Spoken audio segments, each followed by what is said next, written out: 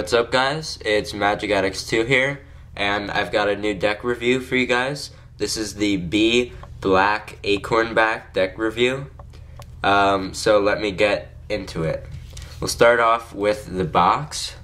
On the front, you see um, it says Bee, playing cards, and then Erdnase, and we've got the uh, Bee right there, and at the top it says 1902 Club Special um, and the silver leaves right here and here, and the silver uh, ribbon at the top are metallic silver ink, which is a really nice accent to the box. Um, the back shows uh, the back design with the silver metallic ink, and it says acorn back, which is what they call the design um, and it says extra selected for club special. Uh, on the side, it says made in the USA, and you've got the leaves on the sides of the words. The other side says Acornback Club Special, again with the leaves on the sides. At the bottom, you've got some copyright info, and at the top, it says Poker, and then Cambric, and then the seal is kind of covering that you've got the USPCC seal on there. Um, and then when you open it up, you've got some more copyright info. So it's a nice, simple box. It's the same as all the other Acorn back decks. Um, so there's the box, and now we have the cards. Um, it's a great deck of cards. This is my first, um, like I said, first deck from Conjuring Arts. So this is my first Acorn back deck, and I really like the design. Um, I'm a big fan of black and white decks, so having a black and silver back was really nice. So first we'll take a look at the cards that you get with it. Um, you get the Ask Alexander card. Um, which is cool, and uh, there's an ad card on the back. Then you have um, a card from the expert at the card table book that has some um, some writing on there, and it has the back design of the deck. Now let's talk about the Jokers and the Ace of Spades. Um, you've got almost identical Jokers.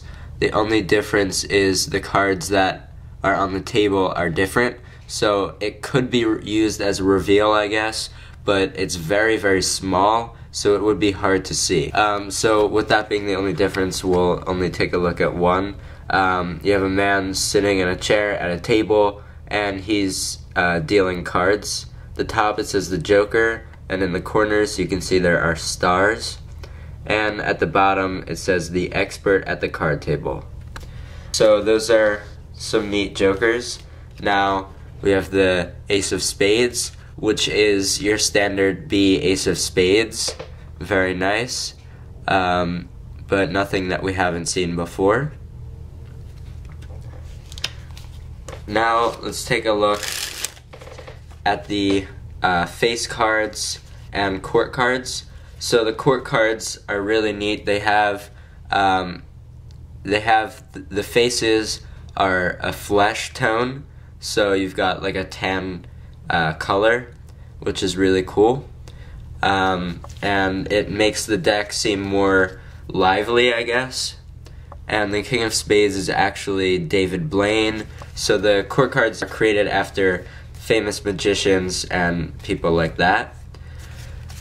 Um, the pips are very bold and fat, like the diamonds. You can really see. Clubs, too. And one thing that I really like about this deck is that the uh, the letters and numbers in the corners are very small and thin. And at first, I wasn't too sure about it, but um, after really looking at it, I really like it. Um, and it looks very nice in a fan. If you guys get these cards, you'll definitely notice it, and I'm sure you guys will like it. It's a really cool um, font that they used, and I'm really glad that they used it. So now let's talk about the back design. The back design is the classic acorn back, um, and you see there are two circles with um, it looks like an S and an E, and above them it says 1902. Then in the middle of the circles there are actually acorns. Um, in this smaller circle right there, there are acorns and the design around those circles looks like almost um, to me it looks like peanuts uh, from a distance but if you really look close it's actually um, hands that are cutting the cards and I guess doing uh, sleights with the cards so that's really, really neat. Um, you have to look closely to see that, and it's a really cool. I guess you would you could call it an illusion. When you look from a distance, you don't notice it, but when you look closely, you notice it. And the colors that they used are really great. They accent well, and the contrast is definitely there. You've got a black back with the designs being metallic silver ink and we've got a white border. I really like the back design and it's just overall a really nice looking deck. So now let's talk about the handling of this deck. You can buy this deck in one of in two finishes. You can get it either with what they call cambric finish or embossed finish, um, or you can get it with the ivory finish, or they also call it their smooth finish. Um, the thing is that with the black acorn decks, they both actually have a magic finish coating, um, which they don't, which is, this is their first time that they've used this, and on all of the other acorn decks, they have either cambric or ivory, which you can choose from.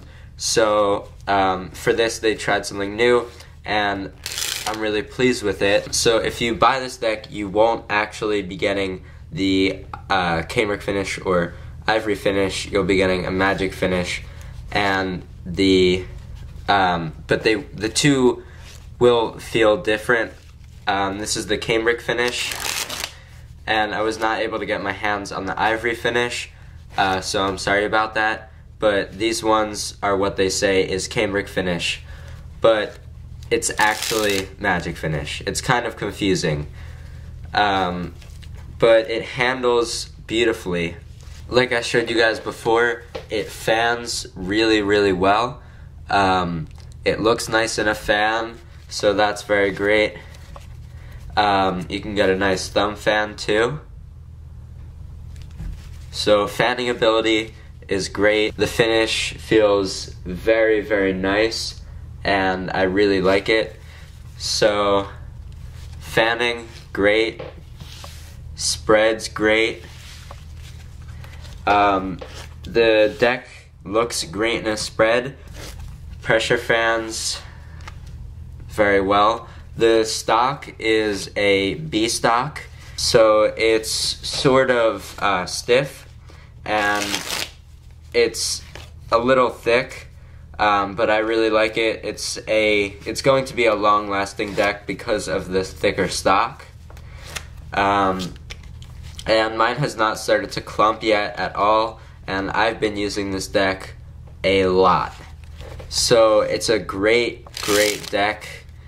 Dribbles really nicely, springs nicely. The only thing is that it takes a while to break it in, but after you use it for a good amount of time, it's going to be a great deck and you will definitely enjoy it. So I definitely recommend that you pick up the Black Acorn decks. They're, uh, they're not expensive and you can get them on eBay from a seller called Cards and Decks. Um, they have amazing prices. Uh, you can get this deck for extremely cheap. I think it's about $3.50 right now um, per deck. So definitely go there. um, and go quick because they are selling. So that's it for the review of this deck. Remember to comment, rate, and subscribe, and I'll put the link to where you can buy these in the description. Thank you for watching, and I'll see you guys in my next review. Thank you.